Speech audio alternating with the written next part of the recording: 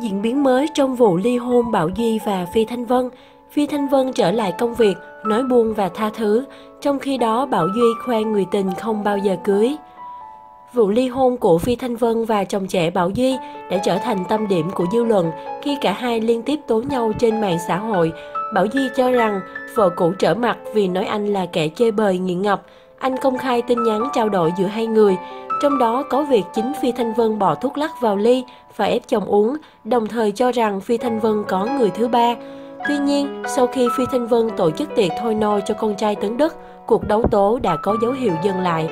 Trên trang cá nhân của mình, Phi Thanh Vân đã trở lại công việc của mình. Cô viết, dù có bao sóng gió thì em vẫn phải đi tiếp, dừng lại cũng chẳng để làm gì, chỉ vướng bận thêm, buông và tha thứ.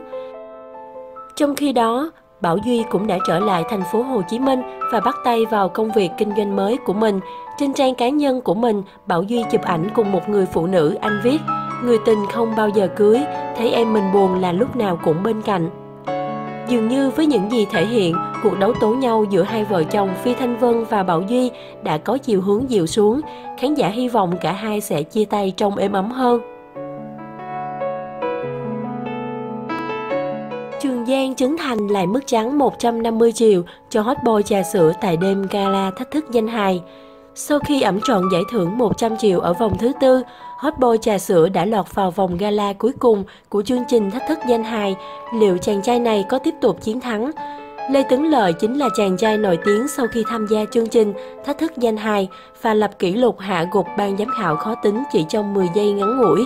Anh chàng 23 tuổi đến từ Long An khiến hai vị giám khảo cười nghiêng ngã ngay từ những giây đầu tiên bởi sự lém lĩnh nhưng đầy chân chất và đáng yêu. Với sự hài hước, Lê Tướng Lợi đã ẩm trọn giải thưởng 100 triệu đồng ở phòng thi thứ tư. Tất nhiên, Lê Tướng Lợi cũng được tham gia vào đêm gala chung kết với giải thưởng lên tới 150 triệu đồng. Cách đây ít phút, Tướng Lợi cũng chia sẻ niềm vui mừng, hạnh phúc khi được tham gia vào đêm gala thách thức danh hài và hy vọng khán giả sẽ ủng hộ để anh tiếp tục chiến thắng trong vòng thi cuối cùng. Hot boy trà sữa chia sẻ những hình ảnh trong đêm chung kết, thách thức danh hài với giải thưởng 150 triệu đồng. Thế nhưng, không ít khán giả đã cho rằng Tướng Lợi chính là thí sinh giành chiến thắng trong đêm chung kết, thách thức danh hài, ẩm trọn giải thưởng 150 triệu đồng. Tướng lời gây ấn tượng mạnh với khán giả với màn giao lưu ngô nghê, hóm hỉnh. Thậm chí giám khảo Trấn Thành còn không tiếc lời khen ngợi anh chàng chính là hàng hiếm của chương trình. Liệu Lê Tướng lời có thể tiếp tục giành thắng lợi trong vòng thi cuối cùng để ẩm tròn giải thưởng 100 triệu đồng hay không?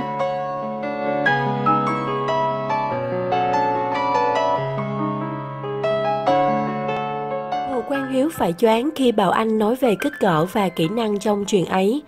Bảo Anh khá giản dĩ khi chia sẻ về chuyện phòng the. Chuyện tình của cặp đôi Hồ Quang Hiếu và Bảo Anh khi vừa công khai đã nhận được ủng hộ của đông đảo fan hâm mộ cả hai bên. Từ khi thừa nhận tình cảm, cả hai thoải mái hơn trong việc chia sẻ những hình ảnh tình cảm ngọt ngào của mình trên trang cá nhân. Có lẽ cánh mày râu cả nước đều phải ghen tị với Hồ Quang Hiếu khi có một cô bạn gái vừa giỏi giang lại vừa xinh đẹp kiều diễm như Bảo Anh. Bên cạnh đó, Bảo Anh còn khá có kinh nghiệm trong chuyện chăn gói. Tuy còn ít tuổi nhưng đã có lần nữ ca sĩ thẳng thắn chia sẻ về chuyện không một chút ngại ngùng.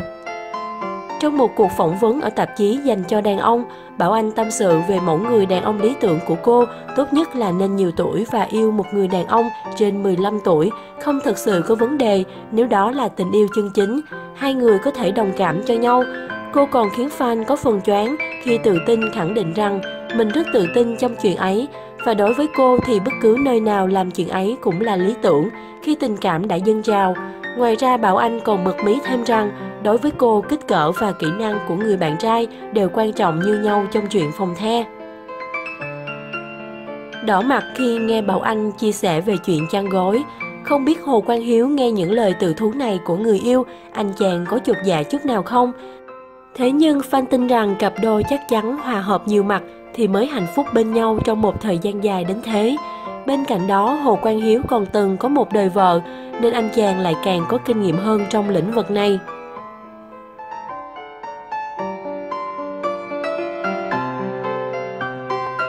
Trường Giang được minh oan sau vụ bỏ diễn vì ném chai. Sau hành động bỏ diễn vì ném chai trên sân khấu, Trường Giang đã được bạn diễn minh oan. Liên quan đến sự việc Trường Giang bỏ diễn khi bị ném chai trên sân khấu Tây Ninh, mới đây diễn viên Thanh Tân đã khiến dư luận bất ngờ khi tiết lộ lý do thực sự sau hành động gây tranh cãi này. Được biết Thanh Tân là bạn diễn của Trường Giang trong đêm diễn tại Tây Ninh. Chính vì vậy, anh đã chứng kiến toàn bộ sự việc. Nam nghệ sĩ chia sẻ, hành động này không phải là thiếu tôn trọng hay là thiếu chuyên nghiệp trước khán giả. Hành động này chỉ là anh em nghệ sĩ chúng tôi bảo vệ bản thân trước khi có lực lượng bảo vệ. Nếu lỡ có tình huống đáng tiếc nào xảy ra thì lúc đó ai bảo vệ anh em nghệ sĩ chúng tôi đây? Thông cảm và hãy thương anh em nghệ sĩ chúng tôi nhé. Chỉ vài giờ sau khi đăng tải trên trang cá nhân, dòng trạng thái của Thanh Tân đã nhận được gần 3.000 lượt yêu thích và hàng trăm lượt bình luận ủng hộ. Bên cạnh đó, một số khán giả có mặt tại sân khấu cũng đã lên tiếng cho biết thêm, Trường Giang không chỉ bị ném chai nước một lần mà đến tận 3 lần. Lần đầu tiên, nam danh hài bị khán giả ném chai nước ngọt qua đầu, trúng vào người trợ lý, nhưng anh vẫn lên sân khấu diễn và sau đó bị ném chai nước thứ hai. Lúc này anh đã nhờ đến sự giúp đỡ của những người bảo vệ, nhưng họ chỉ đứng cười. Đến lần thứ ba bị ném Trường Giang mới quyết định ra về. Trong khi đó, các khán giả ở điểm diễn Trảng Bàn, đêm diễn tiếp theo của Trường Giang sau sự cố cho biết nam danh hài vẫn vui vẻ và phục vụ khán giả tại đây, thậm chí không ngừng ngại hát tặng thêm cho người hâm mộ. Điều này cho thấy cách hành xử văn minh cũng như thái độ làm việc chuyên nghiệp của Trường Giang, chứ không phải mắc bệnh ngôi sao hay không coi trọng khán giả như nhiều ý kiến đánh giá khác.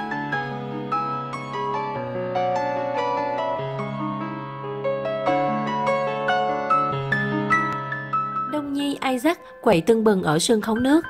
Isaac kết hợp khá ngẫu hứng cùng Đông Nhi trong ca khúc hit của hai người, đồng thời anh còn lôi kéo bạn thân xuống hồ nước để khuấy động cùng khán giả. Tối 10 tháng 2, Đông Nhi và Isaac tham gia đêm nhạc được tổ chức ở thành phố Hồ Chí Minh. Cặp đôi bạn thân lần đầu kết hợp khá ngẫu hứng. Họ biểu diễn liên khúc Bad Boy, Bóng bóng bang bang và Hai cô tiên.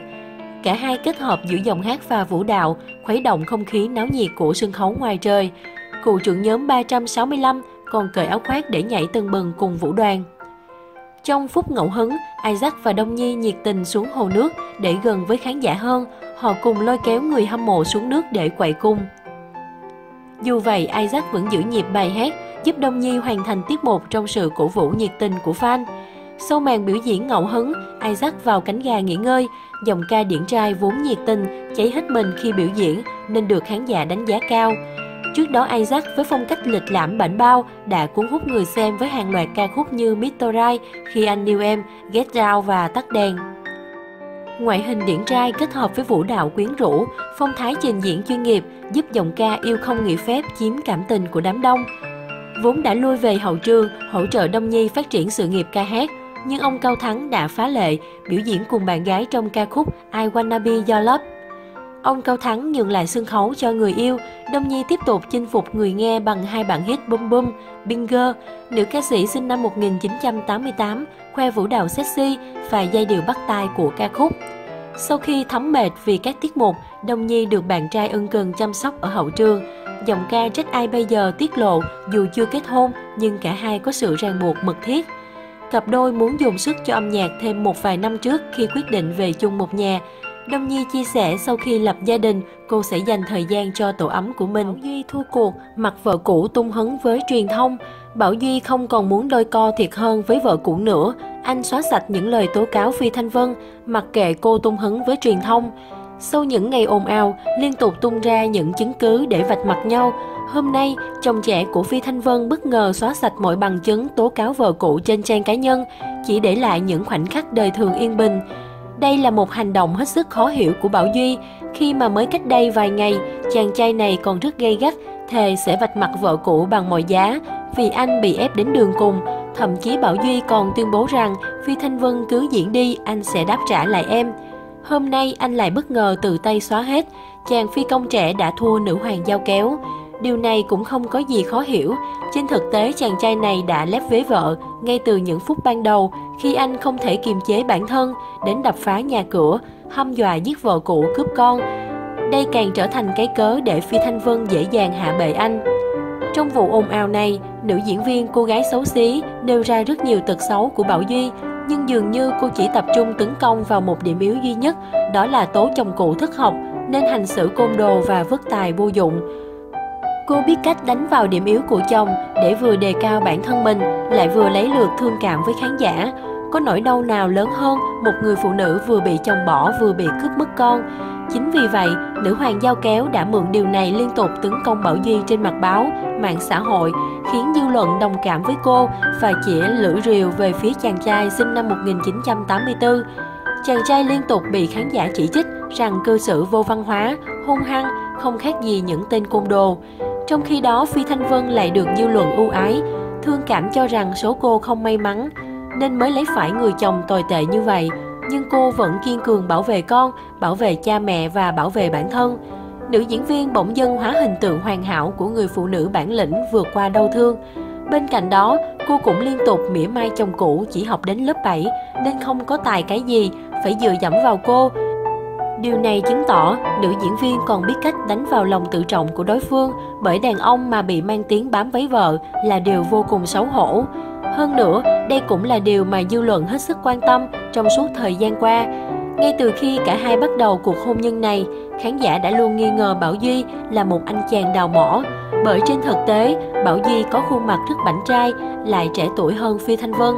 Đánh vào điều nhạy cảm này, nữ hoàng giao kéo dễ dàng lôi kéo được dư luận, xuôi theo những lập luận của mình, biến đây thành vũ khí để đáp trả tình cũ một cách mạnh mẽ nhất.